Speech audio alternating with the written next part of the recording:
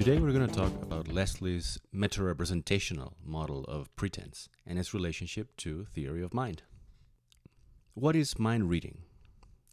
Well, mind reading can be characterized in very general terms as the capacity to make sense of other people's behavior in psychological terms, such as beliefs, desires, intentions, and the like. And this is something that cognitive scientists have been wanting to explain for a long time.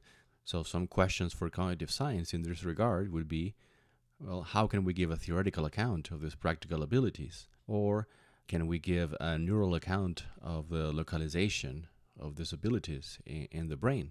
Well, Leslie's account is uh, deals with this first question in order to give a theoretical account of these practical abilities. And his theory relates mind reading to pretense.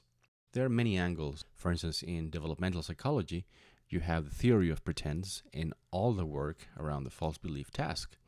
In primate cognition, you have uh, work by Prem, David Premack on the chimpanzee theory of mind. On uh, developmental psychopathology, you have work on developmental disorders such as autism that are thought to be connected with problems in mind reading. And on evolutionary psychology, you have the work on uh, the Machiavellian intelligence hypothesis and mind reading as a, as a module. Now, we're going to today to talk about theory of pretense as a springboard to the theory of mind and uh, mind reading. So, why is it interesting? Well, mind reading is often taken to require a very distinctive kind of thinking. It involves thinking about other people's thoughts, which is merely which is more complex than merely thinking about objects in the world. And so the concept, in particular, we're going to see that Leslie uh, links the notion of mind reading with uh, meta representation. Other terms for this are second order thinking, re- reflexive thinking, and secondary representations. So, uh, Leslie is a British psychologist who has published a lot on this topic, and we're going to discuss his 1987 paper. And again, is about the origins of meta representation. And his target is that what he wants to explain is pretend play. What sorts of uh, symbolic abilities give rise to pretend play? So we know that uh, pretend play em- emerges very early in infancy, about 13 months. And in uh, normal children, it gets fairly sophisticated by the end uh, of the of the second year. So pretend play is acting as if, say, something is when it is not. And it is a stepping stone in the child's development that leads to full blown theory of mind abilities, even though pretend play emerges much earlier than fully fledged theory of mind. So you have pretend play in place much before children can pass the false belief task, for instance. In any case, Leslie thinks that pretend play is a forerunner to the kind of thinking that is required for the development of a theory of mind. You have different kinds of pretend play. You have self directed, which is simply pretending to carry out a familiar activity you have other directed, just pretending that some object has some properties that it doesn't. For instance, that a glass that is empty, you pretend that it has water or tea. And object substitution is pretending that some object is a different object, say that a banana is a telephone. It seems that pretend play requires the child to coordinate multiple perspectives. That is, to hold two realities about what is the same thing in his mind. That is, a patient or a teddy bear. She has to think of the real object and also about what she's supposed to imagine that the object is, right?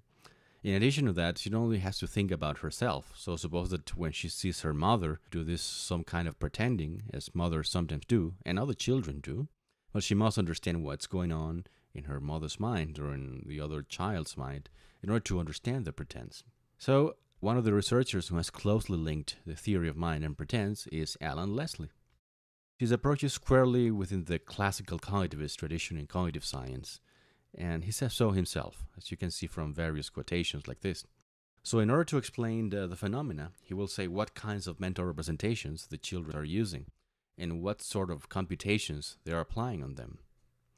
In order to relate this to other things we've seen in the, in the course, you can see the account as trying to characterize the representations and operations of the physical symbol system inside the child's head as well as the nature of the code Europe it operates on, like the language of thought. So keep this in mind as you follow along. Now, Leslie starts from the observation that pretend play requires sophisticated abilities to represent the world. These must include the child's primary representations, whose aim, more or less, is to represent the world as accurately as needed. This includes perceptions, memories, etc. And since we're working in Leslie's classical framework, these primary representations, in order to take part in the individual's uh, mental economy, must be present in some kind of mental code, like a language of thought, right, which we saw with Fodor. So one question Leslie asks is, does pretense require representations to be present in another code? That is, must there be a, a second language of thought to be used in pretense, but not in literal thinking? So here we have a, a little girl pretending that the, the banana is a telephone. So, is it that primary representations must change their meaning when the child engages in pretense, such that the telephone symbol no longer stands for telephones but now also includes bananas, for instance? Well, Leslie thinks that it is unnecessary to postulate a second code just to explain pretense. And he also thinks that primary representations must keep their original meaning. It's not that the child is deluded in thinking that the banana is indeed a telephone. So pretense is clearly different from error. Here you have to juggle both fantasy and reality. However, he still has some explaining to do. There has to be some difference between how things are represented in pretense and outside pretense. Otherwise, the child's representation of the world would be chaotic and contradictory. So, this is what I mean. Suppose that the child perceives this glass and, sees it and believes that it is empty. So, she has, again, in her language of thought, in her physical symbol system, an active representation to the effect that the glass is empty. But suppose that the child is also pretending to drink from the glass. Now, inside her pretend game, the glass cannot be empty, otherwise, it wouldn't make sense for her to drink from it. So, somewhere in the child's mind, her actions must be guided by the representation of the proposition the glass is not empty, or something to that effect. But if so, then the child would both hold that the glass is empty and that it is not empty, thus generating an obvious internal conflict. So, the internal representation system as a whole would not be able to accurately represent reality, which betrays the very purpose of primary representations. So, if there is no second code, and if primary representations do not need to have their interpretations modified, then what happens to primary representations in pretense play?